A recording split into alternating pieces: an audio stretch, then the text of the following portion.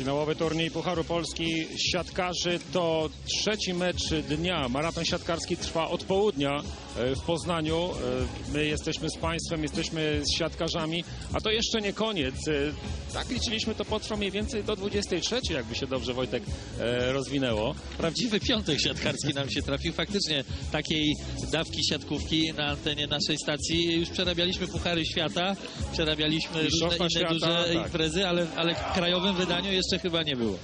No więc mamy dzisiaj e, pokaz niezłej siatkówki. PGS Krabełchatów to był pierwszy mecz Zaksa Kędzierzyn wygrany przez Bełchatowian e, 3 do 0. Jastrzębski Węgiel pokonał Resowie 3 do 1 i teraz mamy mecz Mlekpolu AZS Olsztyn z Jadarem Radom. E, To skład Mlekpolu Sinantanik numer 1, dwójka Wojciech Grzyb, trójka Marcin Lubiejewski z czwórką Frank Dene, piątka Paweł Zagumny, ósemka Biern Andre, dziewiątka Marcin Kudłacik, dziesiątką Grzegorz Szymański, jedenastka Michał Ruciak, czternastka Paweł Siedzieniewski, piętnastka Rich Lambert i z numerem 17 Marcin Możdżonek, pierwszy trener Mariusz Sordyl, który przejął schedę po Ireneuszu Mazurze, był jego asystentem, teraz jest pierwszym trenerem zespołu olsztyńskiego. Zespół Jadaru Radom.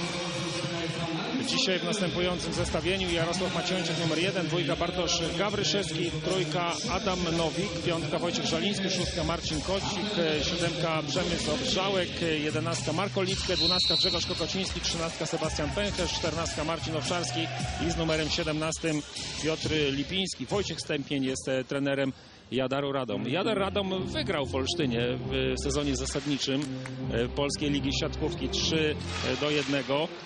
E, Natomiast potem przegrał u siebie 0 do 3, a więc e, nie ma tutaj absolutnie jakiegoś kompleksu zespołu e, z Olsztyna i tutaj no niektórzy mówiło się w kuluarach wieczną sensację w tym spotkaniu. Zobaczymy.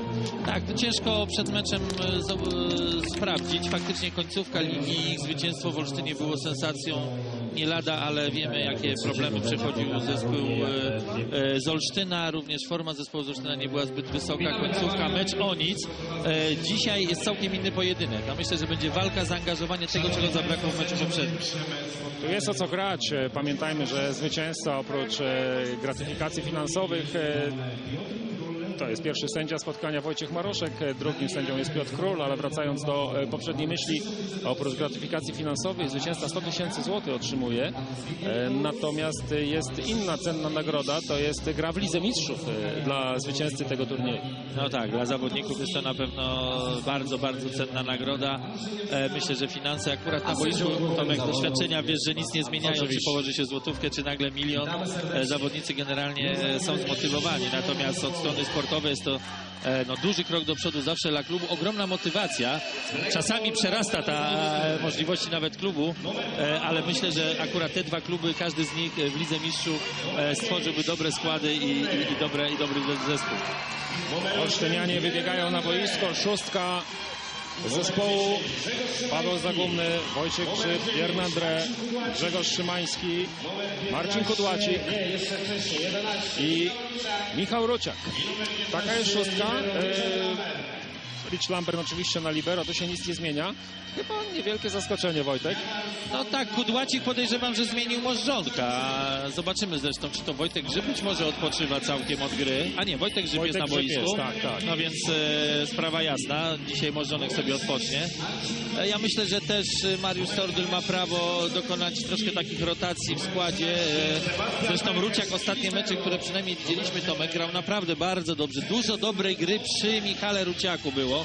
Olsztyn słabo gra w obronie. Michał zmienia tą sprawę, odmienia bardzo oblicze swojego zespołu. Zobaczmy ustawienie Jadaru Radom. Kokociński od zagrywki, Macionczyk prawy atak, środek Kocik, lewy atak Gawryszewski, Żaliński na lewej obronie i Pęcherz na środku obrony.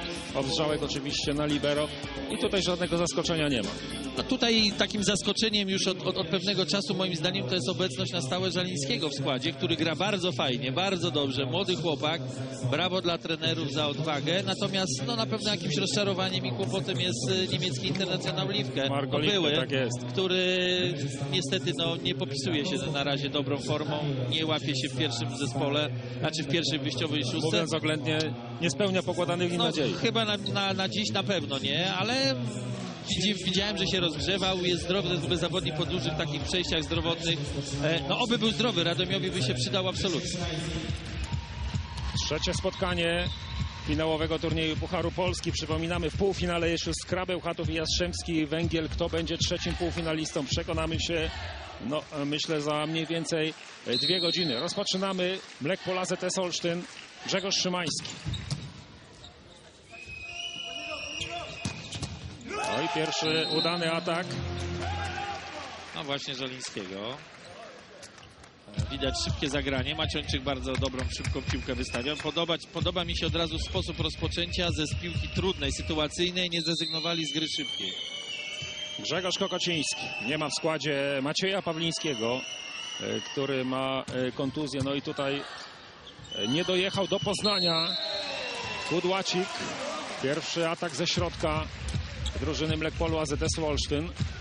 Atak taki z przepuszczeniem piłki z obrotem w powietrzu. Poczekał w tej drugiej fazie atak. Gawryszewski, który próbował go blokować, spóźniony. Mało grał w tym sezonie Marcin Kudłacik w zespole Mlekpolu.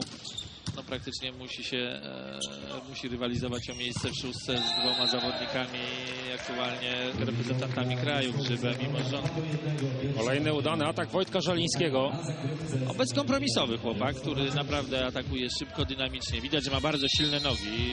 Tych ujęć, gdzie będziecie Państwo widzieć całą sylwetkę zawodnika, widać, że naprawdę ma bardzo mocno zbudowane nogi. Przekłada to się na bardzo widać taki dynamiczny, szybki wyskok.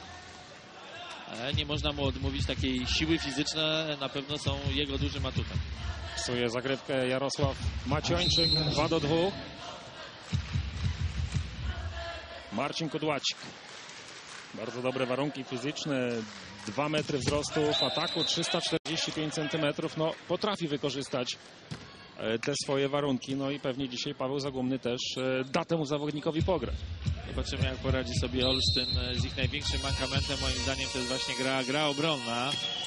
E, I tu można wrócić do tematu właśnie Ruciaka. Się nie dziwię Mariuszowi Sortylowi, który stawia na Ruciaka. E, ta para e, przyjmujących André Tanik e, ofensywnie bardzo mocna, ale defensywnie bardzo słaba. Jeden i drugi nie bronią. E, Z przyjęciem u Tanika bywa różnie. Natomiast Michał jakby łączy, e, troszkę rekompensuje może straty przy siatce, choć Michał nie jest dziurą w ataku. E, Wręcz bym powiedział z trudnych piłek taki nawet chłopak, który potrafi z niczego coś zrobić. Może troszkę blok nie jest jego atutem, ale zagrywka, przyjęcie i obrona to już są atuty Michała. A tymczasem Bartosz Gawryszewski przed chwilą w udanym ataku ze środka, teraz nieudana zagrywka byłego gracza Krętmetu Częstochowa. No, szukał, myślę, że Bartek, y, między innymi transfer jego do Radomia to było chęć jednak poszukania zespołu, w którym by grał. Zawodnik 23-letni, który no, przesiedział raczej trzy sezony w Częstochowie z małą ilością gry, a jeśli wchodził, to był do wejścia niezły. Nie do zatrzymania Wojciech Żaliński. Trzeci jego bardzo pewny atak. No i tutaj otrzymuje piłki w ciemno od swojego rozgrywającego. No i na razie Olsztynianie nie potrafią ustawić na niego skutecznego bloku. Lżejsza zagrywka, ale sprawiła tam trochę kłopotu Lambernomi. Tutaj z dużą swobodą atakuje Grzegorz Szymański. No tak, to taki atak bym powiedział, e, gdzie chcecie, żebym uderzył, z zapytaniem można powiedzieć, tak trochę pół żartem, pół serio, ale faktycznie na pojedynczym bloku, bloku zawodnicy wysokiej klasy, a na pewno Grzegorz, Grzegorz, że takich należy, e, potrafią kierować piłkę tam, gdzie chcą. Sebastian Pęcherz, ale w siatkę wpada Grzegorz Szymański, bądź też e. Marcin Kudłacik, przepraszam. Kudłacik, tak, Tak. jest. Zobaczmy. O, tak, Ten, robiąc zamach. Ten zamach, przygotowanie do wyskoku, gdzie ręce troszkę pomagają zawodnikowi w wyskoku. No, trzeba uważać, żeby siatki nie dotknąć. 6 do 5. Prowadzenie Jadaru. O, skrót Sebastiana Pęcherza. Dobrze w asekuracji Biernadre. Za lekki zdecydowanie atak po skosie Michała Ruciaka. No i odpowiadają Radomianie, którzy grają bez żadnych kompleksów. No, bardzo dobrze rozprowadzona akcja na kontrze. Macionczyk, myślę, że też już e, numer jeden e, w zespole e, Radomia jako rozgrywający. Rywalizacja jakby się skończyła. Z, Z Piotrem Lipińskim. no, na to wychodzi i gra, i gra coraz lepiej. Macionczyk zawodnikiem coraz, coraz moim zdaniem pewniejszy. No i znów uruchomiony na środku Marcin Kudłacik. Jeszcze raz ta akcja. No idealne piłki od e, Pawła Zagumnego. Grzegorz Szymański. Po prostej w ostatniej chwili zdaje się zmienił kierunek. Mogło to zaskoczyć, gdyby było troszkę więcej precyzji. No i na pierwszej przerwie technicznej w secie pierwszym e, Blackpool przegrywa z Jadarem 6 do 8. Dzisiaj jeszcze niewiele publiczności, no to się wszystko wcześniej zaczęło, ale zapewniamy Państwa, że e, na jutro wszystkie bilety są wykupione na półfinały i na finał oczywiście także. Oczywiście dzisiaj dzień normalnej pracy, więc kibice, taka troszeczkę rotacja też wśród kibiców. Rano było więcej. No w ogóle sporo młodzieży, to zawsze cieszy. Święto siatkarskie w Poznaniu, Puchar Polski Pań także będzie rozgrywany tutaj na początku kwietnia. No, Poznań chciałby mieć drużynę w Ekstraklasie i tutaj jest grupa zapaleńców, która robi wszystko, aby tak się stało. No tak, dostać dwie w jednym sezonie, w jednej edycji dwa, dwa finały Pucharu, to na pewno promocja bardzo e, duża.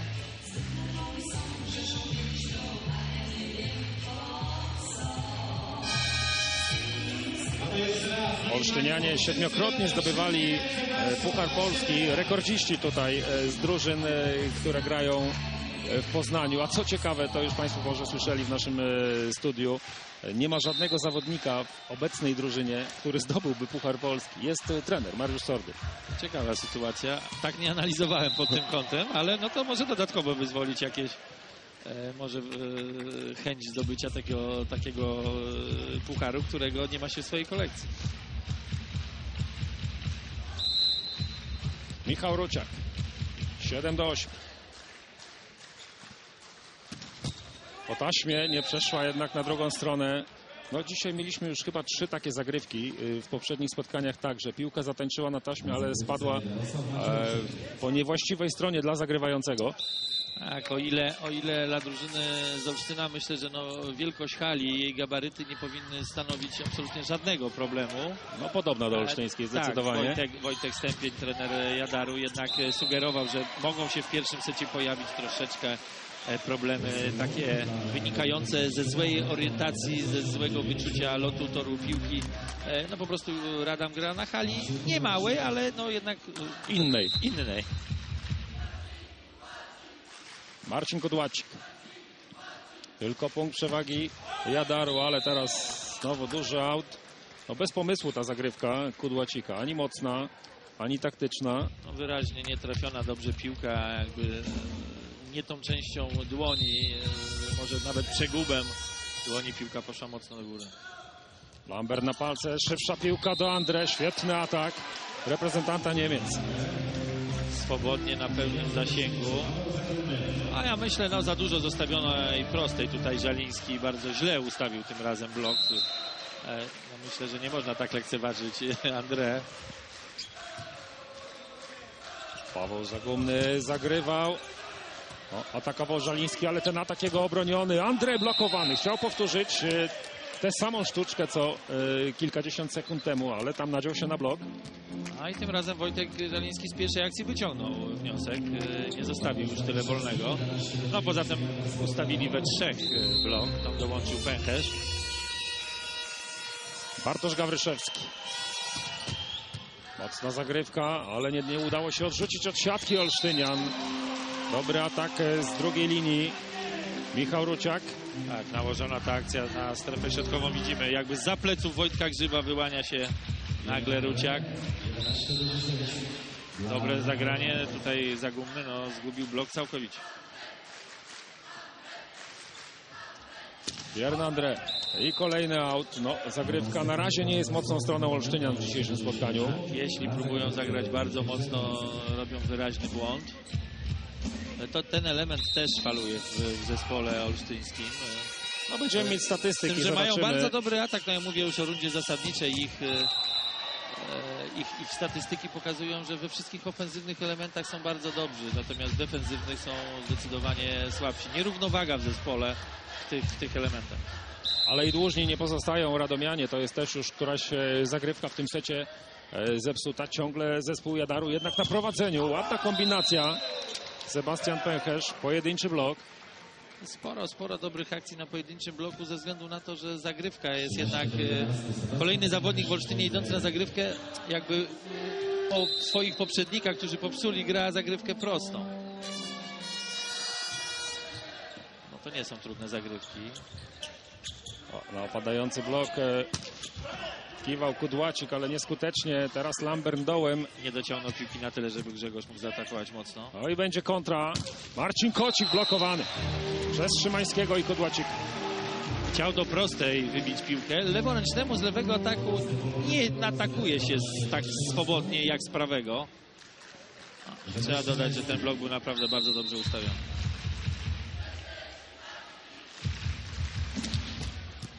Po taśmie Szymański Obrzałek wbiegał do tego przyjęcia. No i tutaj kolejny udany atak Wojciecha Żalińskiego.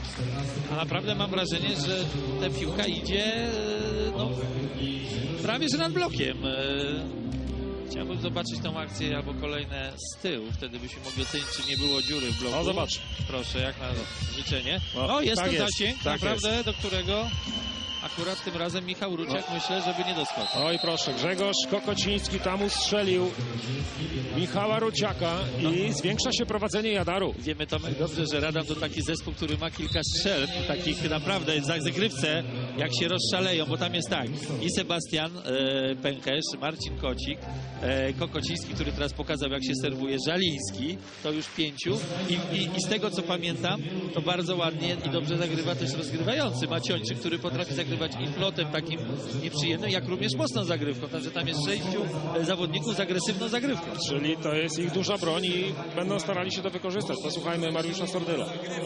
Nagrywa balonika, oni dosyć Skoncentrujmy się na początku. Najlepiej. Spalamy, spalamy, ej!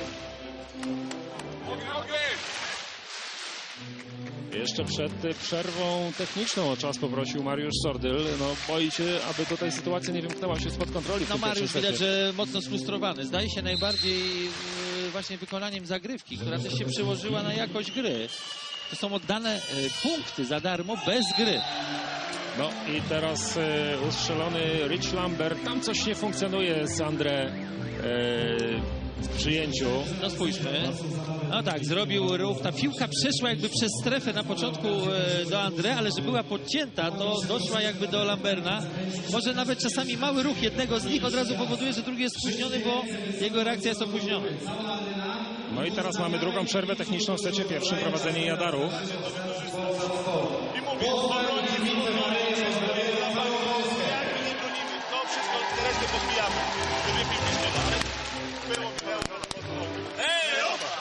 Jadar gra na luzie. To tak, właśnie chci- wyjąłeś mi dosłownie. Chciałem powiedzieć, że oni mogą grać na pełnym luzie. Jeśli ten mecz ugrają, wielkie brawa. Jeśli przegrają, e, nic się wielkiego nie dzieje. Dla Olsztyna porażka byłaby kolejnym e, takim e, no, ciosem dla tego zespołu, który, no, tak jak mówimy, jest po dużych przejściach, po dużych zawirowaniach no i trzeba im życzyć, że tak powiem, spokoju takiego, bo spokój też się przekłada na dobrą, na dobrą pracę, na dobrą grę. No i wywołałeś tutaj temat e, rozgrywek Polskiej Ligi Siatkówki. Pamiętajmy, że e, w pierwszym playoffie e, Olsztynianie mają remis z Resowią i to na własnym boisku 1 do 1. E, Teraz cała rywalizacja przenosi się do Rzeszowa.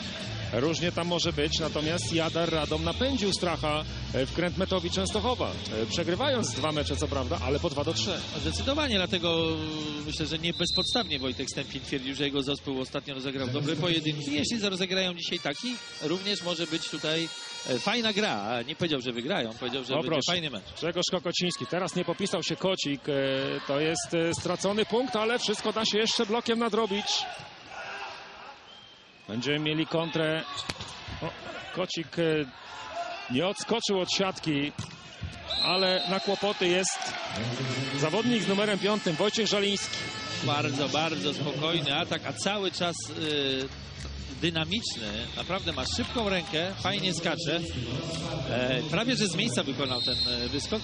Spójrzmy, jak ładnie trafił sam narożnik boiska. No, wydaje mi się, że musi się chyba trochę e, Marcin Kocik przebudzić, bo to nie pierwszy jego e, Na atak. pewno tak, na lewym ataku dla Marcina jest to no teraz prosty błąd, który już się nie powinien zdarzać między w miarę doświadczonymi zawodnikami. O, zderzyli się i stąd to podwójne odbicie, a zdenerwował się trener Stępień. A, No tak, to jest taka trudna sytuacja, w której Maciączyk generalnie powinien albo odepchnąć swojego zawodnika, a jeśli już ten stoi, że tak powiem, twardo mu nie ustępuje miejsca, nie powinien go dotykać, bo w momencie odbicia wiemy, że takie popchnięcie powoduje nieczyste odbicie. No i włącza się Kocik także do gry po prostej atak. 18 do 13 to jest dość wysokie prowadzenie Jadaru, który wydaje się kontroluje tutaj sprawę w tym pierwszym Tak, secie. bo masz rację, bo to wszystko wynika z gry. Tu nie jest jakaś y, porażająca ilość błędów. Olsztyna, nieczyste odbicie teraz y, Zagórnego po złym przyjęciu Andre. No mnożą się błędy. E, Błędów zrobili bardzo dużo w zagrywce. Natomiast siatkarsko Jadar kontroluje absolutnie grę. Będą Zaczynają się zmiany. zmiany, tak, bo tutaj już sytuacja nie wygląda, e, nie wygląda dobrze. No i proszę, Jern André opuszcza boisko w jego miejsce. Paweł Siezieniewski. No, próbuje porozmawiać z André Mariusz Sordyl, ale coś niechętny Bjorn André do rozmowy. No, boję się, że w drużynie z Olsztyna wszystko wisi na takim przysłowiowym włosku. Tam może pójść w obie strony. Albo się naprawdę uda im zrobić dobry wynik, albo tam będzie zmarnowany sezon. E, tam mogą nie No wytrzymać. proszę, to jest ta e, sytuacja.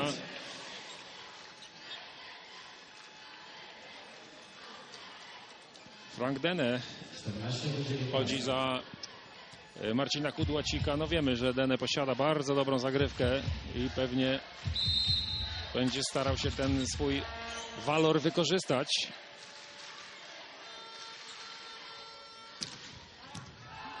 Bez problemu przyjął Olbrzałek Żaliński po prostej. No atakuje gdzie chce, kiedy chce i jak chce. Gdyby, żebym nie wiedział, że jest tak młody, to bym powiedział, że gra jak stary. Stary, doświadczony, spokojny gracz. y, Cały czas dynamika duża w ataku, duża, duża szybkość y, e, ręki e, i, i, i swoboda, kierunki, które wybiera, naprawdę no, na razie y, ręce same do oklasku się składają, obserwując grę tego chłopaka. Wojciech Grzyb no, próbuje trochę pobudzić swoich kolegów e, tym atakiem. Ciężko, ciężko im idzie, no ale klasę zespołu się poznaje po tym, że jak czasami nie idzie wszystko jak spłatka, e, wtedy się potrafi przebudzić. No jest komu Tomek tam grać, no przecież w końcu tam jest całe stado zawodników e, z reprezentacji. Ja się wierzyć nie chcę, żeby byli, e, nie mieli na pomysłu na swoją grę. No na pewno nie mają pomysłu w bloku na Wojciecha Żalińskiego, który, co tu dużo mówić, otrzymuje bardzo dobre piłki od swojego rozgrywającego Jarosława Macieńczyka. Tak, Maciączyk gubi. Od razu od pierwszej akcji powiedziałem, że bardzo fajna, szybka wystawa, całkiem, całkiem inny styl e, niż wcześniej na przykład prezentowany przez e, Iwanowa w Jastrzębskim Węglu. Musi gonić Paweł Zagumny i to będzie piłka przechodząca. Pęcherz przepchnął. No, nie wiem, czy nie dostał w nos opadający. Grzegorz Kokociński, tak. No, to są bolesna, bolesna. No, zobaczmy. Oby, oby nie kontuzja. O właśnie, to jest ten moment. Ale Nie, nie, myślę, nic się nie że stało. To się zdarza e, niestety przy bloku. E, tak, środkowi są narażeni niestety na takie dodatkowe kuksańce. Często oni też wpadają e, w zawodnika skrzydłowego. Ten opuszcza rękę, gdzieś są, są ciosy w głowę, czasami gdzieś pod żebra się przydarzy. No ale to myślę, że wszystko do zaakceptowania.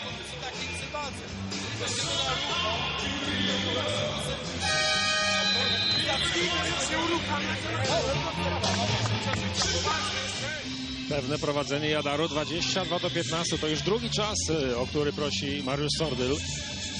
No powiem szczerze, że o ile dobra gra, taka solidna Jadaru mnie nie, e, nie zaskakuje, bo oni są zespołem, e, moim zdaniem, który troszeczkę jest za nisko mimo wszystko w tabeli. Oni tacy troszkę niedoceniani, jakby czasami sami siebie nie doceniali. Zrobili fajną sensację, ogrywając grę. E, potem troszkę ta gra im siadła. Teraz znowu wrócili do niezłej gry. Spójrzmy, co się dzieje. To W jest ataku e, no, zabawa miał dzisiaj blok, chwili. punktowy blok chyba jeszcze nie. Natomiast y, wróćmy Tomek do tematu. No Olsztyn y, gra jeszcze gorzej niż go widzieliśmy ostatnim razem. Zdecydowanie tak. Sinan Tanik, Coś złego się dzieje w zespole olsztyńskim i to Miejsce- widać gołym okiem. Michała Ruciaka, który teraz się dziwi, że schodzi z boiska też. No przy takim wyniku Mariusz Sordyl właściwie nie może inaczej pomóc swoim zespołom, jak próbować jakichś zmian. Bartosz Gawryszewski. Czasy już wybrał, no nie No. ma przyjęcia i tutaj zaczyna się duży, duży problem. Grzegorz Szymański nie sforsował potrójnego bloku. Teraz Siezieniewski, ale bronią Radomianie. Nie udało się wyprowadzić kontry. Będą ją mieli siatkarze Mlekpolu. Dobrze ustawiony blok. No można z tego atakować. Nie spróbował Grzegorz Szymański i mało tym swoim atakiem e, nie uszkodził nam monitora. Za bardzo wyrzucony jednak był tu Paweł Zagumny, bardzo dobrze się starał pociągnąć tą piłkę jeszcze do ataku, ale przerzucił troszeczkę za szeroko. No, Grzegorz nie musiał popełnić oczywiście błędu, ale zaatakować mocno nie mógł. No, to jest piłka setowa. No, dołącza się jeszcze do mocnej zagrywki Gawryszewski. W siatkę wpada Paweł Siezieniewski, a więc pierwszy set kończy się wysokim zwycięstwem Jadaru Radom 25 do 15. Radomianie obejmują prowadzenie 1 do 0.